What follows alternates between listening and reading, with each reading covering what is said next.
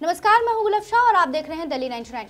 Mumbai police ने मुंबई के जुहू में बॉलीवुड स्टार अक्षय कुमार के घर में बगैर इजाज़त घुसने के जुर्म में एक सिरफिरे फ़ैन को गिरफ़्तार कर लिया है। आपको बता दें कि ये जो फ़ैन है, ये हरियाणा का रहने वाला है और इसका नाम अंकित गोस्वामी है, जो कि अपने पसंदीदा बॉलीवुड स्टार अक्षय कुमार से मिलना चाहता था और सिर्फ़ इसी के लिए वो मुंबई आया था।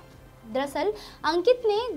कॉम से अक्षय कुमार का पता निकाला और सोमवार की देर रात को जब अक्षय कुमार के घर में घुसने की कोशिश करने लगा, तब वहाँ के गार्ड ने उसे पकड़ लिया और पुलिस के हवाले कर दिया। गौरतलब है कि ये ऐसा मामला पहला नहीं है, जब किसी बड़े कलाकार के घर पर किसी फ़ैन या अनजान व्यक्ति ने घुसने की कोशिश की हो। इसके पहले अमिताभ बच्चन, शाहरुख खान और सलमान खान जैसे स्टार्स के घर पर भी इस तरह की वारदातें हो चुकी हैं। बता दें, अक्षय कुमार की फ़ैन फॉलोइंग इतनी ज़्यादा है और कई बार कुछ जुनूनी फैंस अपनी हदें तोड़ने की कोशिश भी करते रहते हैं। हालाँकि, आपको बता दें कि इस साल अक्षय कुमार केसरी, हाउसफुल फोर के शेड्यूल में बिज़ी चल रहे हैं और जल्द ही ये फ़िल्में सिनेमाघरों में रिलीज़ होने वाली है। और खबरों की अधिक जानकारी के लिए देखते रहिए दिल्ली नाइन